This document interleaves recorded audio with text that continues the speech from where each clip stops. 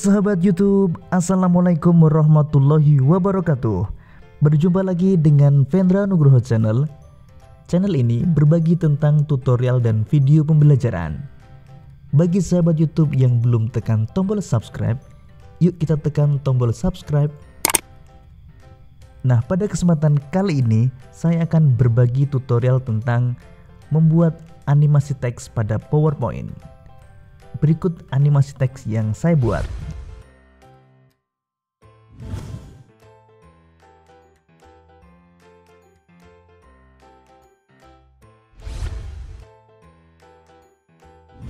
Oke langsung aja kita buat animasinya.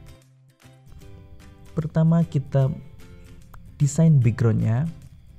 Klik desain kemudian format background Picture or texture fill Insert Kita pilih dari file Klik backgroundnya kemudian insert Background ini saya download dari freepic.com kita dapat mendownloadnya secara gratis di sini, free download.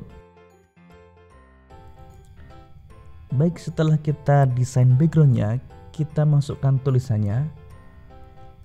Kita pakai word art. Kita tulis title. Kemudian warnanya kita ganti putih. Outline-nya no outline. Kemudian ukurannya. Ukurannya kita buat 170 fontnya kita pakai prototype.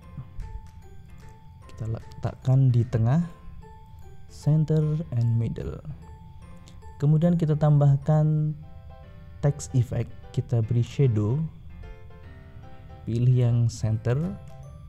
Kemudian kita atur di text optionnya.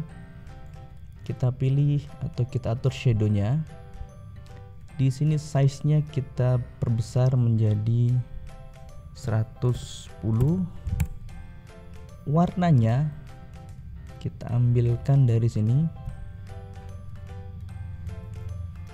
oke kemudian blurnya kita perbesar 40 oke sudah lebih baik Selanjutnya kita animasikan. Klik animation, kemudian kita pakai fly in.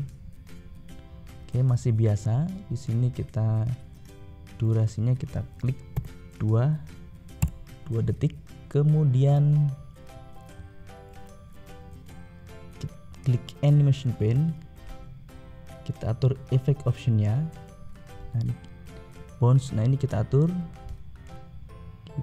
kita tulis saja 1,9 nah seperti ini oke kita percantik lagi kita atur effect optionnya di sini kita pilih animation textnya by letter nah jadinya seperti ini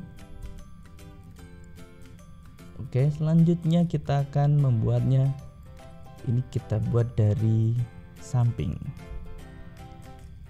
Oke. Selanjutnya akan kita tambahkan add animation. Kita pakai random bar. Kembali kita atur di sini untuk random bar ini kita pilih with previous. Kemudian durasinya 0,1 detik. Kemudian kita atur di timingnya kita buat pengulangan 10 kali nah seperti ini kalau kita coba jadi seperti ini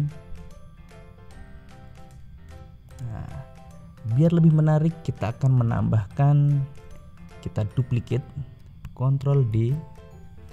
Kita duplicate ini. Kemudian yang ini kita beri save filenya atau text filenya no fill. Kemudian teks outline-nya kita beri warna putih. Kemudian ukurannya satu. Kemudian ini kita pilih with previous oke kembali kita letakkan di tengah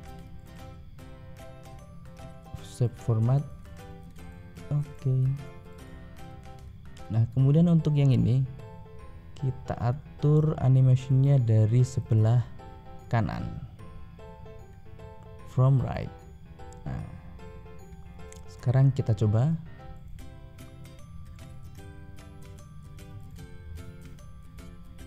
Nah, hasilnya seperti ini.